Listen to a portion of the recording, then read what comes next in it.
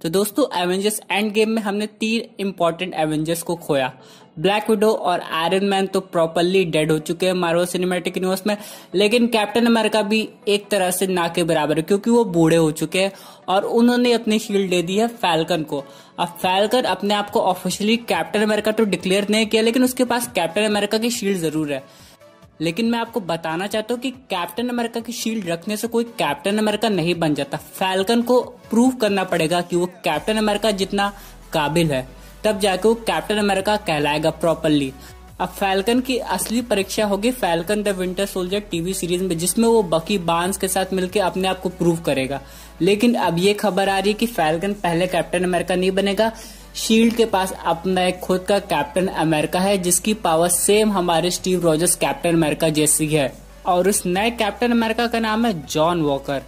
वो एक ऐसा कैप्टन अमेरिका है जो कि शील्ड की तरफ़ से रिक्रूट किया गया है, और उसकी कैपेबिलिटी सेम हमारे कैप्टन अमेरिका जैसी है, लेकिन प्रॉब्लम यह है कि वो कॉमिक बुक में आगे जाके मेंटली इनसेन हो जाता है, जिसके चलते फैल्कन और विंटर सोल्जर को उसको भी रोकना होता है। वैसे फैल्कन और विंटर सोल्जर को शील्ड ही हायर की होती है और उनके साथ ये जॉन वॉकर वाला कैप्टन अमेरिका भी रहता है।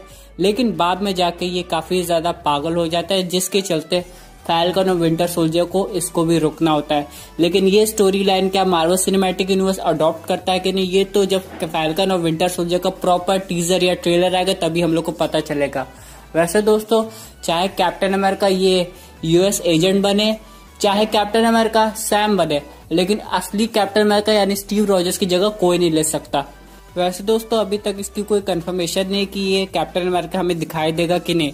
वैसे अगर ये कैप्टन अमेरिका दिखाई देता तो काफ़ी ज़्यादा ट्विस्ट एंड टर्न्स आ जाएँगे मार्वल सिनेमैटिक यूनिवर्स में, क्योंकि मार्वल सिनेमैटिक यूनिवर्स का जो पूरा पूरा फिल्मी सिनारियो है, वो टीवी सीरीज़ को लेके चलेगा यानी जो भी आने वाली जो टीवी सीरीज़ होंगी जो जो घटना टीवी सीरीज़ में होगी वो मार्वल सिनेमैटिक यूनिवर्स के इवेंट्स को प्रॉपरली अफेक्ट करेगी। तो देखना ये है कि ये लोग कैसे प्लानिंग करते हैं नए कैप्टन अमेरिका को इंट्रोड्यूस करने की। वैसे तो मेरी माने तो सैम विल्सन को एक कैप्टन अमेरिका बना देना चाहिए। वैसे आपके क्या व्यूज़ इस पर्टिकुलर टॉपिक पे?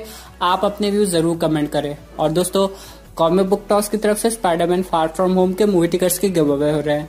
गिव अवे में पार्ट लेने के लिए सब आपको इतना करना है कि हमारे चैनल को सब्सक्राइब करके वीडियो को लाइक करके अपने फेवरेट सुपर हीरोज का नाम कमेंट करना है। तो दोस्तों, अगर आप भी स्पाइडरमैन फार फ्रॉम होम के मूवी टिकट जीतना चाहते हैं तो प्लीज़ सब्सक्राइब कीजिए कॉमिक बुक टॉक्स को। Thank you for watching